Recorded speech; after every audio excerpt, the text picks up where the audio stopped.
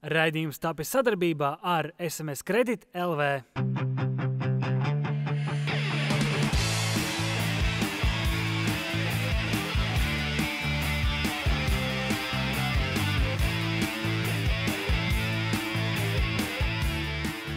Esiet sveicināti, darbie skatītāji! Mani sauc Laura, un jūsu uzmanībai futbola raidījums Vārni Lapa virslīga. Šis nu jau ir ceturtais raidījums, tāpēc, ja jums nav bijusi iespēja noskatīties visus mūsu iepriekšējos raidījumus, tad to jūs droši varat izdarīt internetā. Bet šodien raidījumā redzēsiet. Futbolisti no Dienvidamerikas dalās iespaidos par Latvijas futbolu, Mūsu raidījumā jauna rubrika Latvijas stadioni. Pirmais, kur devāmies, bija Liepājas Daugavas stadions un futbola skolu brīvā stila sacensību pirmā kārta.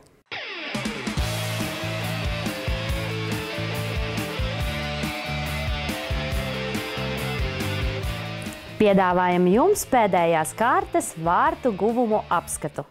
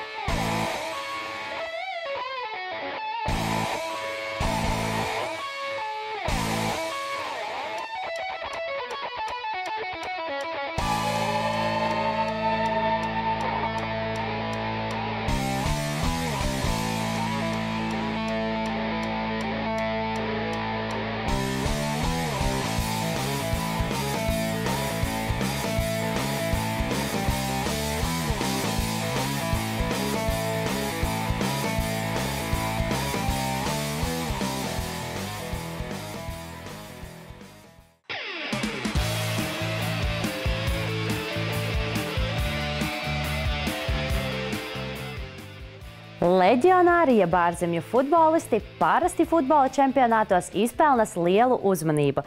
SMS Kredit LV futbola virslīga arī nav izņēmums. Šajā sezonā Latvijā spēlē futbolisti pat no tādām valstīm kā Japāna, Grūzija, Gana, Argentīna, Turkmenistāna un Urugvaja. Mēs satikāmies ar diviem no šiem spēlētājiem, kuri pārstāv futbola centru Jūrmala, lai uzzinātu, kā tad liktenis viņus atvedis ir uz šejieni. Viņi ir vairāk nekā 13,000 km attālumā no mājām. Viņiem ir viens kopīgs sapnis. Viss ir par futbolu. Mīlestība pret to liek viņiem šķērsot teju vai visu pasauli. Pārdzīvojot ziemu Latvijā, abi Dienvidamerikas futbolisti sāka sezonu futbola centrā Jūrmala, kur viņi abi ir pamatsastāv spēlētāji. Sezona nav sākusies, kā daudzi cerēja, bet gluži kā jebkuram citam, kurš ierodas jaunā valstī un jaunā čempionātā, ir vienkārši nepieciešams laiks, lai pierastu pie jaunajiem apstākļiem. Benito, 28 gadus vecs argentīnietis, kurš ir spēlējis tādās valstīs kā Argentīna, Paragvaja, Rumānija un Kipra. Diego Silva, 26 gadus vecs urugvajietis, kurš ir spēlējis tādās valstīs kā Urugvaja, Honduras, Venezuela, Rumānija un Kipra. Eh, bien, nos estamos adaptando. La verdad es esa, que nos estamos adaptando como equipo, como, como también como jugadores extranjeros al fútbol y yo creo que ahora estamos agarrando el ritmo que necesitamos y que, que se está viendo de a poco una mejoría en, en lo, en lo táctico, en lo personal, en, en todo, así que lo, lo veo bien, lo valoro. Benito un Diego ir spēlējuši daudzās valstīs, un tas ļauj viņiem salīdzināt Latvijas futbolu ar citās valstīs redzēto - daudz fiziskāks un mazāk tehnisku spēlētāju. Attiecīgos brīžos arī profesionālitātes trūkums, bet ir ļoti cerīgs potenciāls. El fútbol letón es, eh, es fuerte, es, es- sí, físico, son la mayoría jugadores eh, grandes, buenos técnicamente algunos, y creo que más o menos pasa por eso, falta un poco más de tal vez velocidad y, y alguna persona pensante en el equipo que, que maneje los tiempos. Quizá acá se corre un poco más que en, que en mi país, pero eh, baja un poco la, la calidad técnica. Y yo creo que más, más que todo está ahí la gran diferencia, un poco en lo táctico también, depende del equipo. Y, pero bueno, es un fútbol que, que en el que se, por momentos se puede ver buen fútbol. Latvijā abi ieradās no Kīpras un neslēpj, ka par tādu zemi kā Latvija pirms tam nebija dzirdējuši, kamēr neparādījās iespēja spēlēt futbola centrā Jūrmala. Esot tālu prom no mājām, viss šķiet citā dimensijā. Viņi tiek pāri latviešu valodas barjerām, izmantojot angļu valodu. No sabía, no sabía. Lo primero que hice fue googlear la ciudad Yurmala y me gustó. Soy de, de los que le gusta conocer lugares, cultura diferente. La comida es diferente, así que se echa de menos. Pero bueno, la familia, los amigos es lo que más se echa de menos. Eh, con el idioma el- se maneja con el inglés, entonces no tenemos problema, pero yo creo que más que todo eso. Sí, ahora por internet es- estás todo el tiempo comunicado.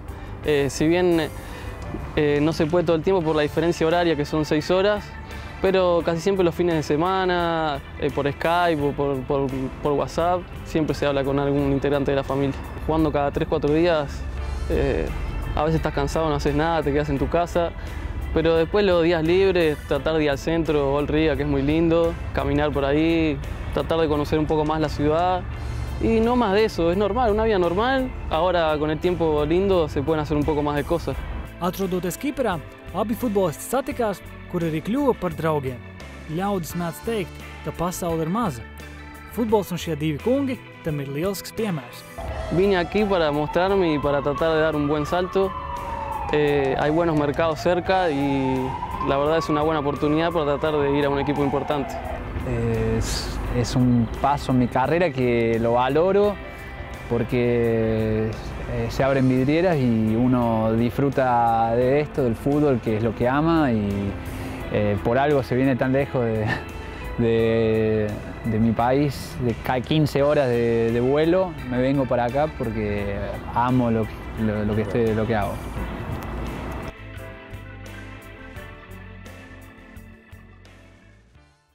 Tas vēl nav viss. Mūsu ārzemju draugi iepazīstinot ar savu kultūru, pagatavoja mums kādu interesantu dzērienu. Skatāmies, kas tas bija par dzērienu.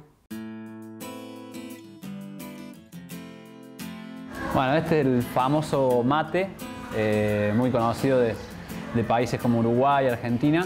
Eh, se bebe en cualquier momento del día, eh, es como una infusión, como un té, eh, pero bueno, es muy para compartir con, otros, con otras personas, eh, ponerte a hablar, contar cosas de la vida, pasar el rato y se disfruta.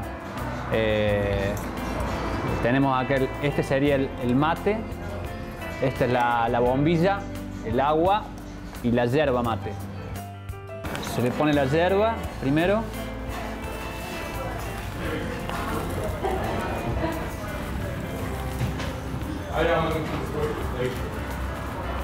Yerba argentina, nobleza gaucha. Una buena cantidad de yerba. Bueno, y la hierba la, la, la batís primero para que vaya organizándose en el mate. Y se le agrega el agua de un costado y se va tomando todo de un costado. Cuando se llega a lavar la hierba, cuando ya no tiene tanto sabor, se le cambia el costado y, y así se, se ve el mate. Y después se le pone un poquito de azúcar. Algunos le ponen azúcar, otros no. Depende del gusto, sí. En Uruguay se toma más más amargo. Sí, siempre de costado. Y el primero que bebe es el que ceba. El que ceba sería el que, el que lo sirve. Se bebe todo el contenido y luego se le vuelve a, servir el agua.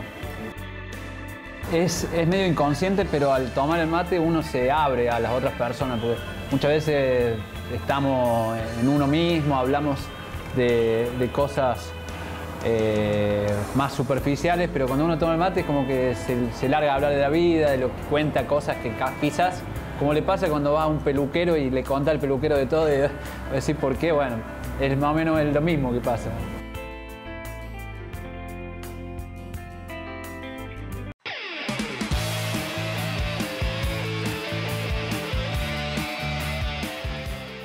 Redzot, cik daudzi cilvēki pasaulē mīl futbolu, gribas teikt, ka tā ir pat kā reliģija, jo bieži vien tiek piesaukti futbola dievi. Laukuma spēlētāji, rezervisti, treneri un skatītāji bieži ir manīti skaitām lūkšanas. Ja futbols ir reliģija, tad iznāk, ka arī stadioni ir tempļi. Un nākamais stāsts būs par vienu no tādiem tempļiem, kurš atrodas Liepājā - Daugavas stadions.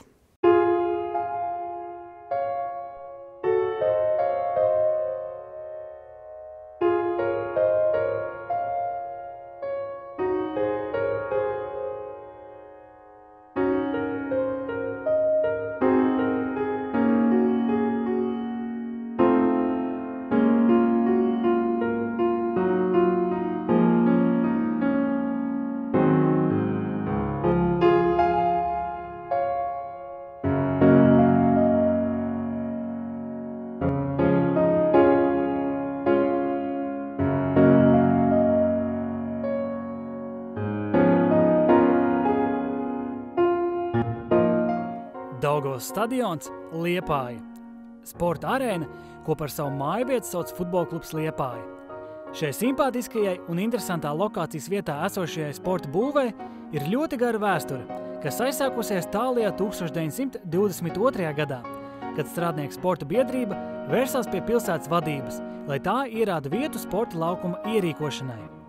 Tika uzbērti vaļņi, bet pa vidu ierīkots futbola laukums un skrejceliņi. Oficiāli Daugavas stadions ir dibināts 1925. gada 14. jūnijā, bet savu pašreizējo nosaukumu ieguvis dažus gadu desmitus vēlāk. Bet kāpēc Liepājā ir stadions ar Daugavas vārdu? Šai upē ir maz sakars ar kurzemi, kur nu vēl ar Liepāju. Sākās pēc 45. gada. Visur Latvijā nodibinājās sporta biedrība Daugava, kas bija lielākā biedrība, un katrā, gandrīz katrā pilsētā stadions bija Daugavas stadions. Nu, un rajonos tur bija ārpus stadiona. Nāca tagad pārmaiņu laiks, bet mēs to nosaukumu negribējām mainīt. Stadions laika gaitā ir attīstījies, jo sporta bāzē ir divi futbola laukumi, viens ar mākslīgo un viens ar dabīgo segumu. Kā arī tribīns ir pielāgots spēļu video translācijām. Pats stadiona direktors Andris Valdmanis šeit ir pavadījis daudzus gadus cītīgi un pašaizliedzīgi strādājot, lai stadions būtu tā teikt labā formā. Es strādāju šeit no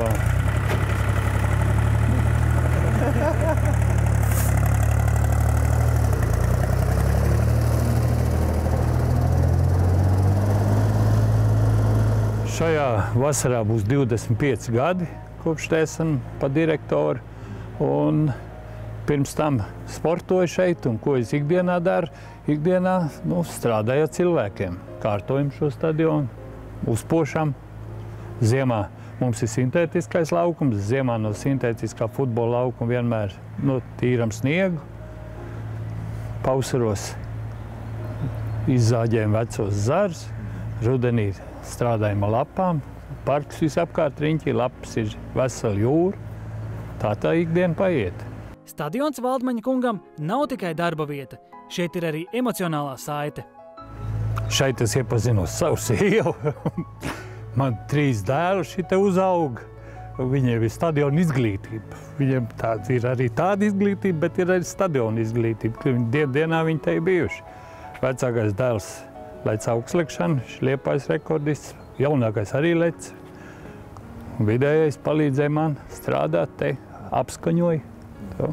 Andris mums parādīja kādu ļoti īpašu fotografiju, kas viņam pašam ļoti iet pie sirds. Tie ir redzams viss stadiona komplekss no putna lidojuma. Un tieši tāda pati bilde man stāv mājās pie gultas. Tāda, tāda liela godu vārdu. Mājās pie gultas, un es katru dienu jau kāpjot ārā no gultas, es redzu savu darbu vietu, savu stadionu un vakarā jūt gulēt atkal. Taču uzturēt un attīstīt stadionu nepavisam nav viegls darbs. To atzīst arī Andris, kurš atrast dažādus brīžus, kad viss nav gājis gludi. Tomēr sīkstais liepainieku raksturs ir palīdzējis šeit visu nosargāt. Bet man atmiņā tomēr ir visi tā, tie, tie gadi no 91., 92., 93., kad nebija nekapēka šeit stadionā. Pilsēta iedot nekā nevarēja vai negrib, nevarēja. Sākumā nevarēja, pēc tam negribēja. Un, un rīkojām šeit. Viņi, tāda nostāja bija, jums šeit pašiem jānopelna. Nu, traka bija tā pelnē, pelnīšana. Mums pat te bija uh, zāģētavu vienu laiku un, un, un tur saimniecības pusē. Un, un tad te visādas pasākums braucām uz Maskavu, meklējām uh, suņu sacīks bija, zirgi, zirgi bija kaut kāda kaukās, uh, džigiti šeit pa šo pašu laukumu zirgiem cī, cīnījās un, un uh, mašīnas te ir bijušas. Bažas par stadionu likteni bija ne tikai 90. gados, bet arī pavisam nesen. Tas trakākais bija, kad metlurgs izjuka un kādus 3-4 mēnešus nebija nekā. Un, uh, mēs bijām nobežījušies arī par šo stadionu, jo līdz ko kā nav komanda, nav, nav, nav kam gatavot. Uh, lēnām viss jāaiziet bojā. Viss. Nu, tagad, tagad ir. Jā. Nu, un tagad būs atkal prieks censties, ka būs. Cerība, ka būs. Jo nespēlējam jau mēs nemaz tik šaki. Mēs spēlējam labi. Nu, jā. Jā. Tik tiešām, futbola klubs Liepāja nav vāja komanda. Un par to, ka tika veiksmīgi izglābts Liepājas augstākā labuma futbols, jāpasaka Mārim Verpakovskim. Es atceros viņu tā, tādu futbolistu, tas spēlējam, un, un, un nu, mēs esam pazīstami savu cilvēku. Un, Tad tā arī prieks, ka viņš atgriezīsies. Prieks, ļoti liels prieks, jā. Parasti tādi lielāki uh, cilvēki kā Mārs, neaugumā lielāki, bet slavenāki. Viņi izvēlējās uh, galvaspilsētas, viņi izvēlējās lielās pilsētas, bet Mārcis atgriezās Liepājā. Nu, par to vien prieks. Jautājot Andrim par stadiona nākotni, viņš apmulsa. Nezinu. Nezinu. Nā. Es domāju par nākotni jau nu, nu, domās tas nākošais uh, stadiona direktors, kas te būs, jo uh, nāk jaunie ar pavisam jaunām idejām un, un neslikti strādā. Un, ja tā paskatos arī uz šo pašu uh, komandu, kas tagad izveidojās, nu, iepriekšējā komanda tā neveidojās. Tur bija uh, tā, tā vecā skola, un, un, un mēs strādājām citādāk. Un, un, un varbūt, ka tagad tiešām strādā labāk. Ir jaunas idejas, jaunas domas. Un, Un tāpat es domāju arī, kas, kas te būs nākotnē. Nu, jauni cilvēki nāks un, un nu, kaut, ko, kaut ko mainīs. Kaut ko mainīs un ne jau slikto pusi uz labo. Nav jābaidās. Nav jābaidās, nē. Daugos stadions Liepājā un tam pieglušies parks vienā, bet zilā Baltijas jūra un kāpa zona otrā pusē padara šo stadionu par unikālu vietu, kuru būtu jāredz visiem, kuri ceļo uz Liepāju.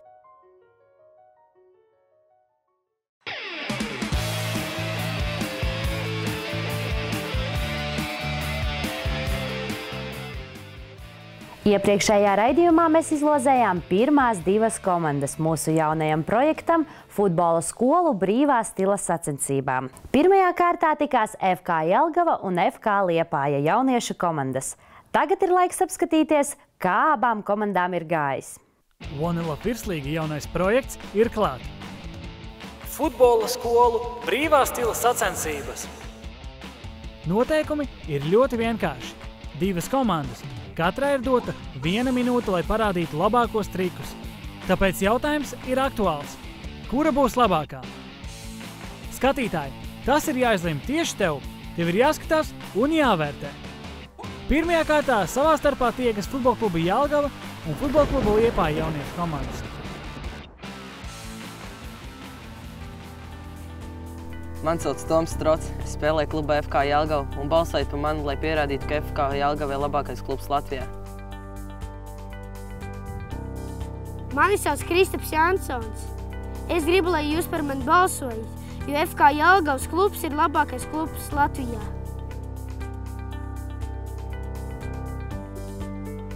Mani sauc Ivo Mikevičs, spēlē FK Jelgavu. Jums vajadzētu balsot par FK Jelgavu, tāpēc, ka mūsu virslīgas komanda bija spējīga uzvarēt viņu pieaugušo komandu FK Liepāju, un mums arī ir pa spēkam viņus uzvarēt.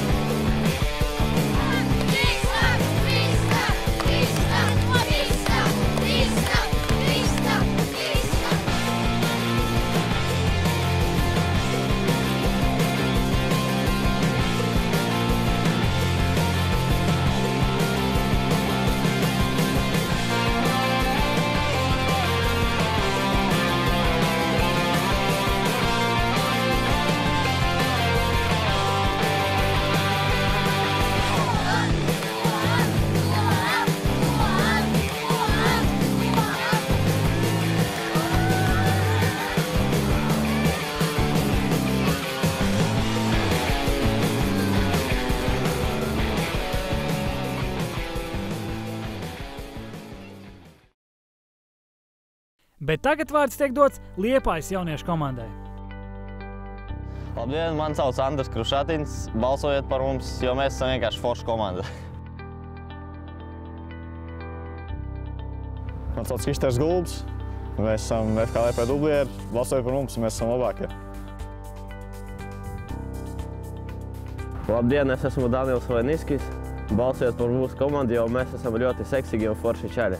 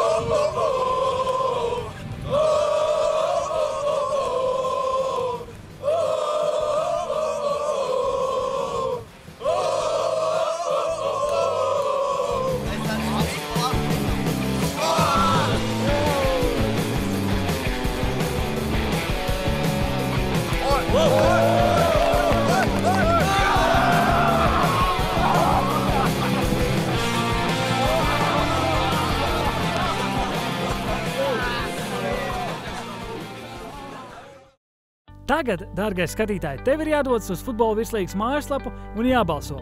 Balsot varēs desmit dienas, un visvairāk balsu iegūsī komanda tiks nākamajā kārtā. Bet tagad laiks ir nākamās kārtas izlozē. Tātad pirmā komanda būs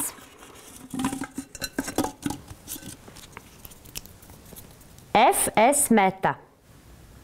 Un otrā komanda būs FC Daugava. Ņemiet piemēru no pirmās kārtas un lai jums veicas!